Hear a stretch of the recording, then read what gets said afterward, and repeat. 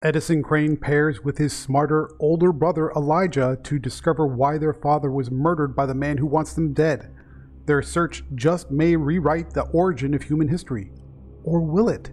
Let's find out in our review of Prodigy Slaves of Mars number 2 from Dark Horse Comics. See you in 3. Welcome back to Comical Opinions. This is our review of Prodigy Slaves of Mars number 2. What do you get when you combine hip, cool, super genius intrigue with a grand conspiracy of the earth shaking variety? You get Prodigy Slaves of Mars number 2, and confirmation that Mark Millar's self titled imprint Millarworld is delivering the most eclectic, entertaining, and imaginative comics around. Before we dig into the current issue, let's recap what happened to Edison Crane in issue number 1. His company, assets, and entire life were returned upside down by evil genius Froth Schrader. Wounded and on the run for a murder he didn't commit, Edison arrives at the Baltimore doorstep of the only person who might be able to help, his older and smarter brother, Elijah.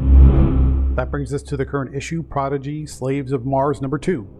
We begin with estranged brothers getting reacquainted as Elijah patches up Edison's wounds.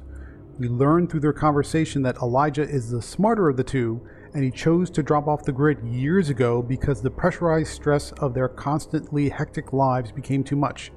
Elijah is fine with helping Edison get back on his feet, but he has no intention of going after Frost Schrader to avenge their father's death. Writer Mark Millar starts the issue on an informative note by introducing Elijah, informing readers of his family history, and establishing a contentious relationship with Edison.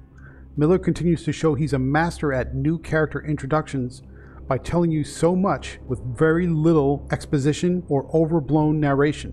It's laser precise efficiency and authenticity through their conversation that makes all the difference in the world. Unfortunately, Froth Schrader pops up on Elijah's big screen TV and tells the brothers the cops are on their way.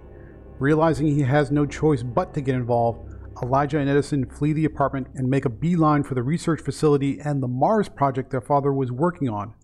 After a few brief stops to find weapons and concoct useful knockout and truth serum drugs, the brothers infiltrate the facility. There, they find several startling secrets. Mark Millar wisely doesn't waste time with the trip or supporting scenes that don't contribute meaningfully to the main plot.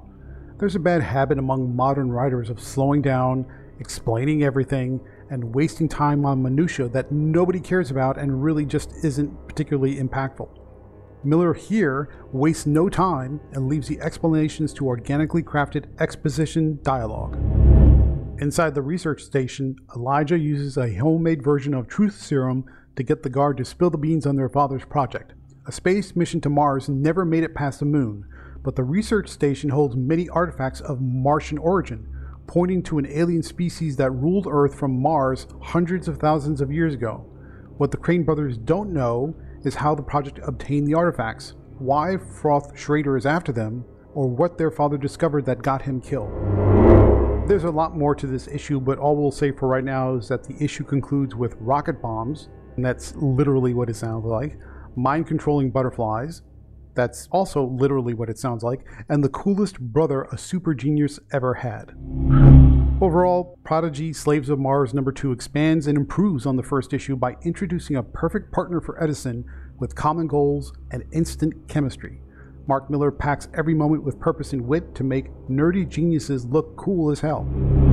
Let's switch gears for a second and talk about the art. Stefano Landini's semi realistic style is a smart choice for this brand of storytelling. Elijah has a relaxed charm that immediately puts you at ease through the clothes that he wears, his mannerisms, his gestures, and just overall confidence in whatever situation he's in, which is precisely the right personality presentation to make this story work. Edison looks up to his older brother, and so you want to have that sense of familiar, familial relaxation, and it works perfectly here. Let's take a step back and look at the big picture.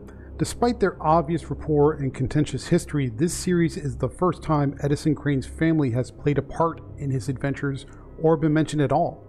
In effect, Elijah is a brand new character to the series, if not to Edison.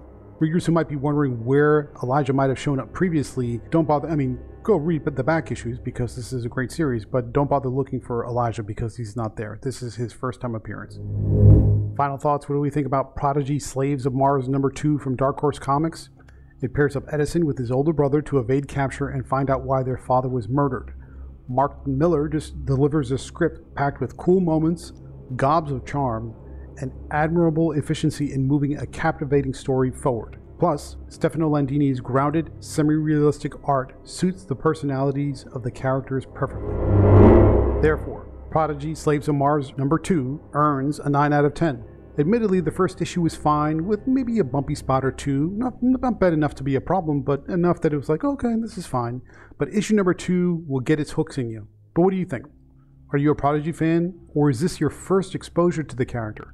Leave a thumbs up if you are a Prodigy fan, and drop a comment below with which Millarworld title you like best so far. Also, remember to click on the link in the description to read the written review and check out all the preview images. Also, there's a link there to buy this comic to help support the channel, which would be greatly appreciated. So thank you very much for joining, and stay tuned through the outro for more reviews just like this one.